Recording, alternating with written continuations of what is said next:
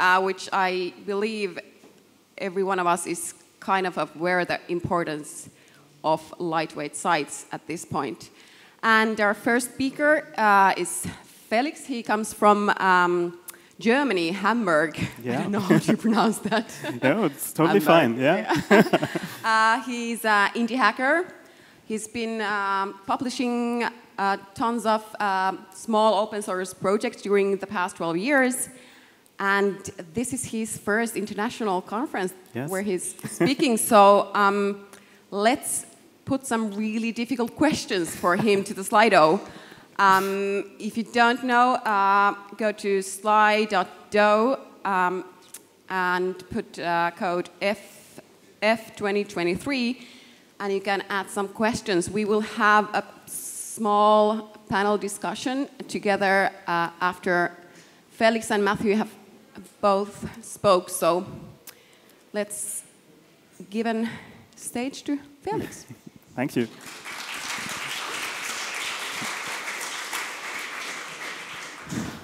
Yeah, hello. My name is Felix Gnass, and today I would like to talk about static site generation, or SSG for short. And um, yeah, in this talk, we'll take a look at different front-end frameworks, and we'll see how we can use them to generate static websites. And we'll do this all without using any meta frameworks on top. Yeah? So we will be building basically everything from scratch, which will give us a chance to take a look at the underlying basic concepts yeah? and learn uh, what it needs to, to, to actually generate a static website. But um, before we dive into that, let me quickly explain how I got interested in SSG in the first place. So I work at a green IT company in Germany called Lionizers, and we develop sustainable software for our clients. Yeah, this means that whatever we do, um, we try to be very mindful about the resource consumption of our software, and we try to write everything as energy efficient as possible. Um, so my personal journey into SSG started when we asked ourselves, what would be the most sustainable way to rebuild our own website? And yeah, there are lots of useful resources out there, and I'll come back to them later. And um, there will also be some talks here at the conference tomorrow on that uh, green computing topic. So make sure not to miss them. Um, but for me, there were two really important key takeaways. So the first one was try to perform as little computation on each request as possible. Yeah? And the second was try to minimize the amount of data that you send down the wire to your visitors. Now, let's start with the first topic computation. So, one simple and efficient way to reduce the amount of computation um, is to generate the HTML ahead of time. Yeah? And this is basically already the core idea of static site generation. So this way, whenever a request comes in, yeah, no script needs to run and you don't have to access any databases or so. You can just serve your pre-generated markup.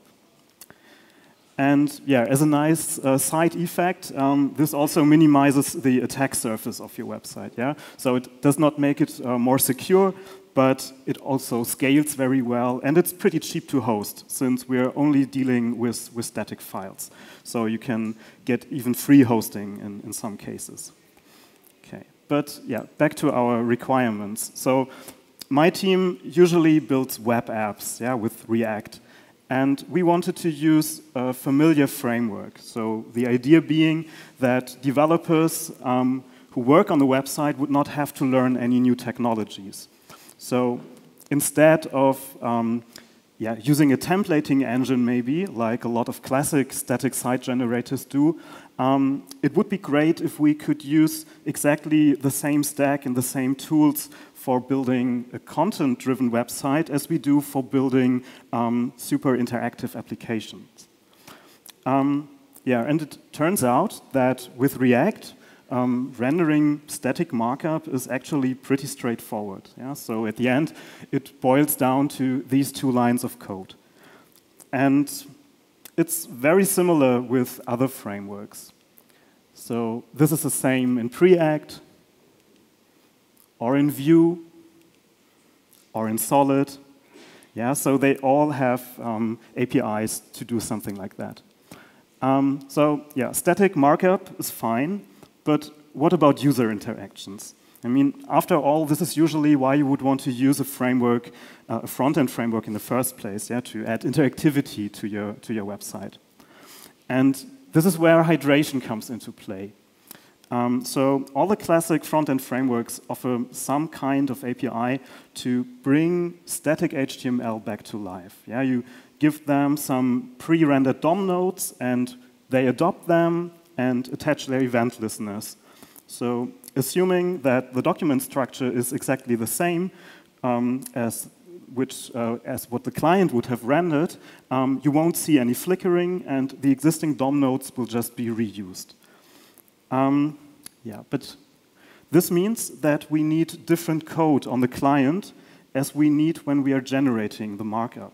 So on the server, we want to call our static rendering API, while on the client, we want to perform that hydration step. And fortunately, this is something that Vite supports out of the box. So if you're not familiar with Vite, you can think of it as a bundler, just like Webpack.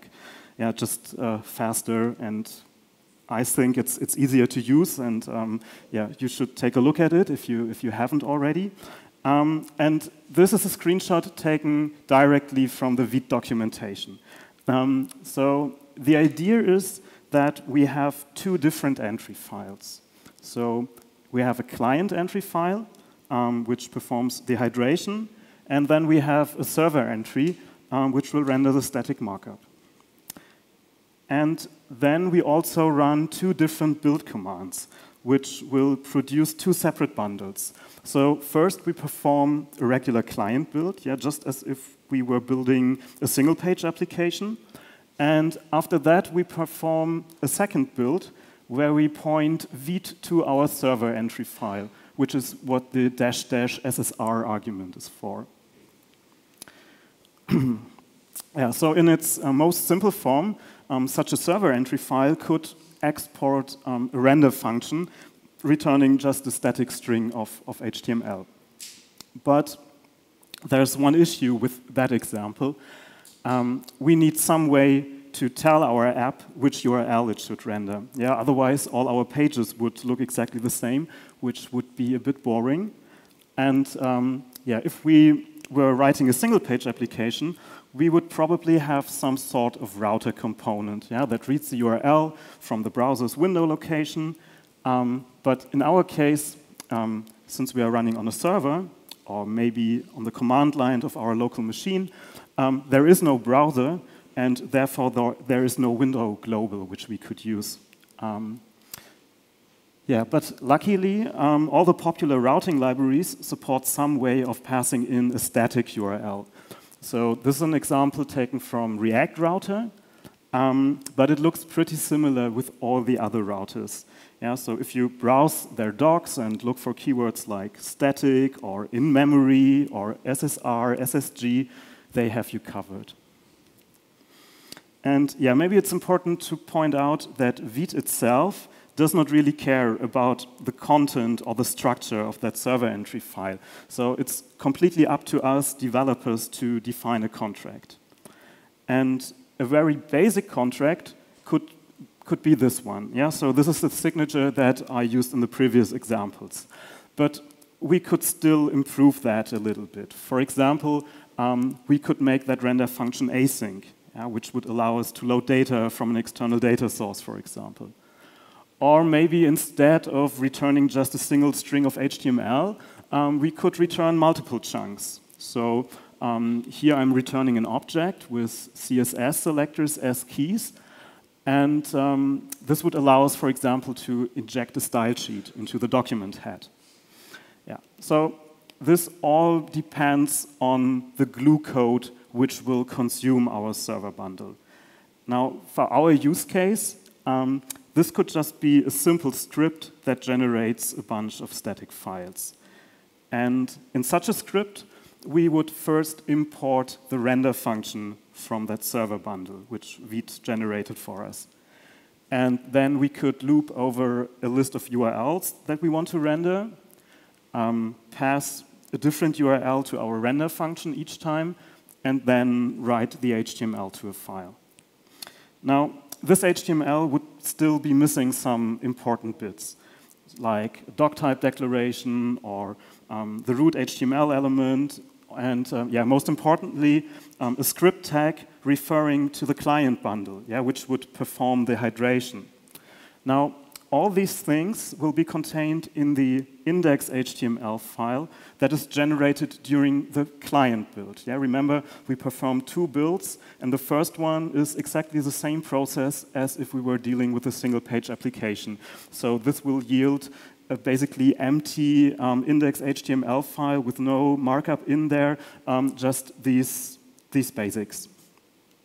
And yeah, then we could um, just do some string replacement and, for example, um, look for an HTML comment and replace that by our generated markup to inject that markup in the surrounding page template. Or maybe a more advanced solution, if you remember um, that example with the CSS selectors, would be to um, use some lightweight HTML parser to parse that index HTML file and then inject our bits and pieces into the right places. Um, okay, now we have a rough idea of how to generate static markup. And by doing so, we found a good way to reduce the amount of computation that happens on each request. But if you remember that slide from earlier, we also want to reduce the amount of data that gets transmitted. And here we need to take another look at hydration. So unfortunately, in order to hydrate a page, the browser has to download the JavaScript of all the components on the page and also probably the initial data that the server might have fetched from somewhere. Yeah, so this is a lot of wasted bandwidth, and the question is if there is anything we can do about it. Now, one approach would be to use something like React Server Components, but that's a whole different topic for another talk. Yeah? So it would also be nice to find a way or a more general solution that would not only work for React, but for all the other frameworks too. And such a solution um, is the so-called island architecture. And in contrast to React Server Components, this can basically work with any front-end framework. Yeah, so let me show you what that term means. So imagine a page like this, where we have some truly static, static content, which is all the gray boxes, and some parts that do require interactivity. Yeah, like an image carousel, for example, or a search widget, or maybe a burger menu in the corner. And now the idea is to hydrate only these green parts and to leave the rest of the page alone.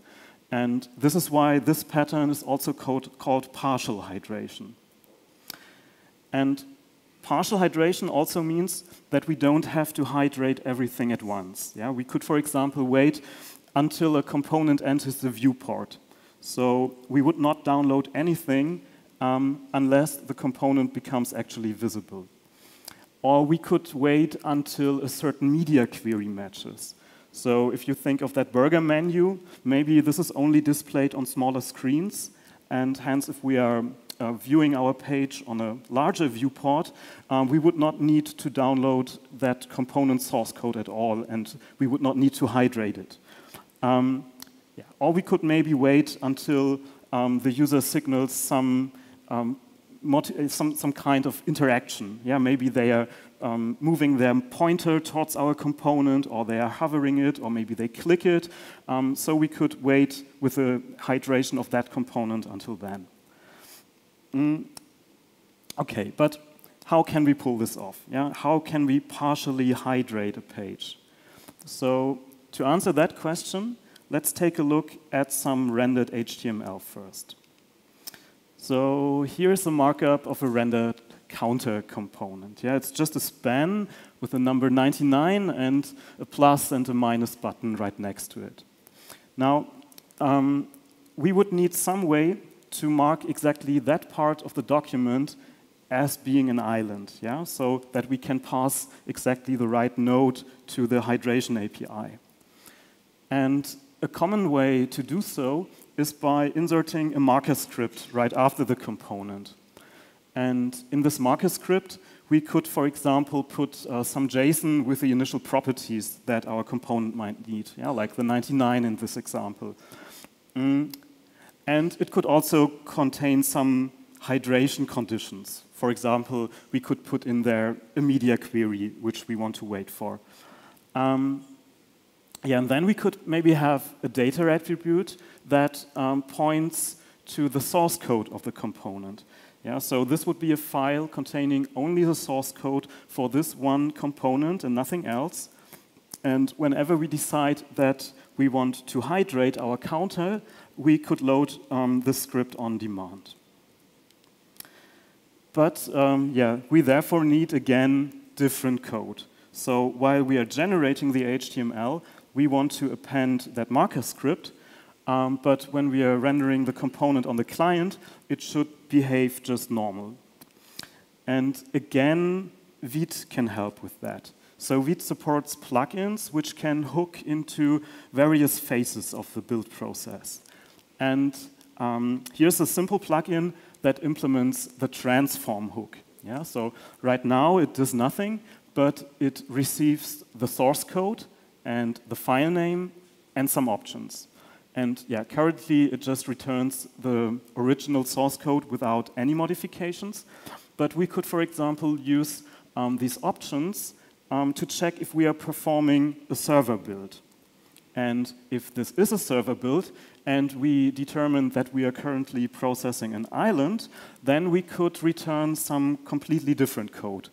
Um, for example, the code of our component plus something that will generate um, this marker script. Now, the question is, um, how could we identify a component? Yeah, how could we know that the file we are currently transforming is actually an island and should be hydrated? And yeah, preferably um, we would do this in a way that would work across all the different um, frameworks. So one thing we could do would be to introduce a naming convention, like naming um, our files .island, .whatever. Yeah? And the best thing about that approach is that we can use another great Vite feature, which is called glob imports. So by using that special import.meta.glob function, we can import multiple files at once, namely all the files that match our naming convention. And um, then Vite will turn this code into that. Yeah, so um, you get an object with the file names as properties and an async loader function as value. So this allows us to load any component on demand whenever we need it. And yeah, with all this in place, we can already write a simple hydration script. So we would first call query selector all to find our marker scripts and then loop over them and use the data attribute to identify the chunk of code that we need to load, load the component, parse the props, create the element, and finally hydrate it. Yeah. So coming back to the title of this talk, this means that you indeed might not need a full-blown meta framework, um, but maybe just a Vite plugin that does all these things for you. And this is exactly what Capri is. So Capri is a small open source project that I created last year. And under capri.build, you can find a Vite plugin with adapters for all these UI frameworks. And that plugin allows you to generate static websites with interactive islands. Okay, so what sets Capri apart from a classic meta framework? Now, meta frameworks, they all come with batteries included. Yeah? So for example, they handle the routing and the data fetching for you, and sometimes um, they also come with built-in support for markdown parsing or image optimization and stuff like that. And with Capri, on the other hand, you bring your own stack. Yeah, just like you do when you build a regular single page application.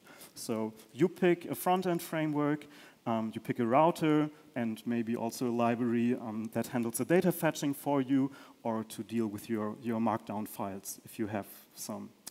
And um, yeah, while this might sound like a drawback at the first glance, um, it does have some advantages.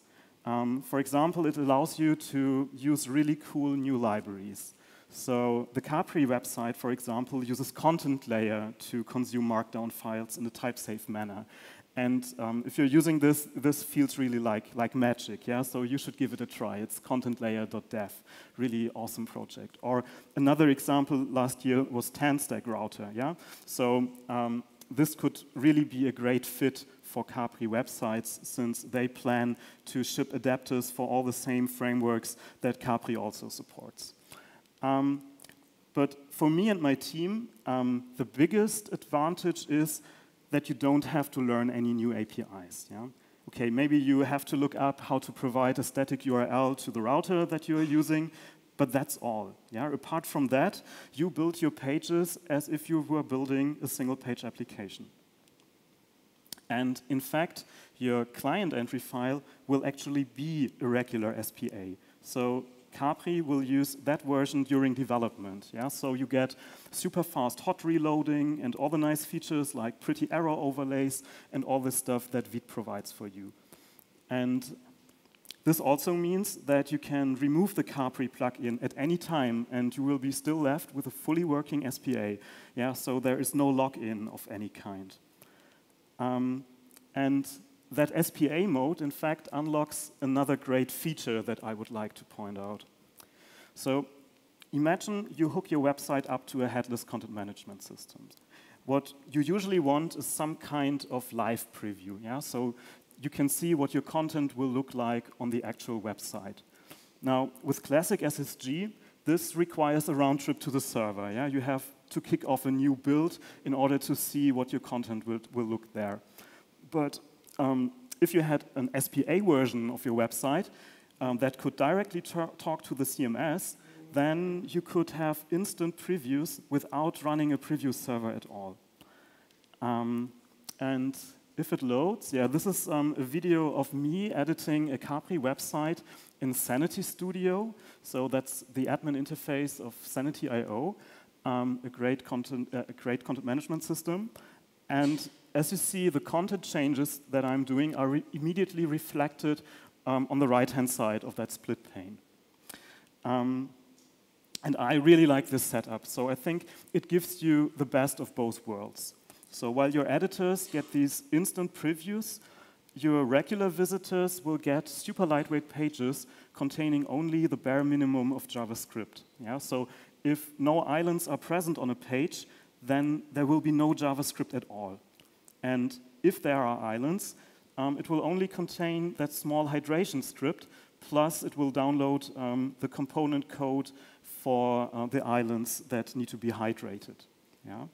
And while um, the SPA version can get pretty large, um, this is not really a problem, yeah, because you just use it for your editors, and it can be cached forever. And since your editors are usually always the same people, um, that's not really an issue. Um, in contrast, it's, it's a good feature that they don't have to download the same stuff all over again. Um, and yeah, all this can be deployed together um, to some static file hosting service, like GitHub Pages or a plain S3 bucket, for example. Yeah, so next time you uh, need to build a small to medium-sized website, go check out capri.build. There's a command line tool to bootstrap examples for the different frameworks. And there are also some super convenient one-click starters. Yeah, not only for Sanity, but also for Storyblok and for Tina CMS, um, which are both really great headless content management systems. So speaking of Tina CMS, um, here's a short video of me editing um, a Tina website. And as you see, this is uh, pretty tightly integrated. Yeah? So the elements on the right side will light up if you focus their input elements in that um, edit panel. And yeah, again, this is all just static files. Um, yeah, pretty, pretty nice. Um, now, I should maybe add a little disclaimer. So Capri is really just a small indie hacker project. Um, for me, it was a great way to learn about the inner workings of the different tools and frameworks which I had used before, but I had no idea what they were actually doing under the hood. Um, and as you know, the world of web frameworks and their ecosystems really moves fast. Yeah? So chances are that some of the examples might become outdated and it's not so well maintained by me. So if you're looking for a really well maintained alternative, I can highly recommend checking out Astro, which uh, Matthew will show you in the next talk. And while Astro comes with a little, yeah, with a slightly different set of trade-offs, it also addresses a lot of the problems which I, which I have mentioned in this talk. So, nevertheless, I think that Capri provides a really interesting approach, which I would like to explore further in the future. And the thing that strikes me most is the idea that such an approach might help to counteract the fragmentation of the web a little. Yeah? So instead of having a separate standalone meta framework for each and every single, single front-end framework, it would be great if they could share some common code base. And yes, I think that, that Vite could really be a great platform for that. So no matter what technology or framework you pick for your next project, please spend some time and think about the resource consumption of your software and your infrastructure. And as I said, there are lots of useful resources on that topic in general. So if you're interested in making your website a little bit more carbon friendly, hit me up on Twitter. I can share my favorite bookmarks with you. And also, in case you happen to play around with Capri, just drop me a line and let me know your feedback. And yeah, always questions and ideas and pull requests are always welcome. So thank you.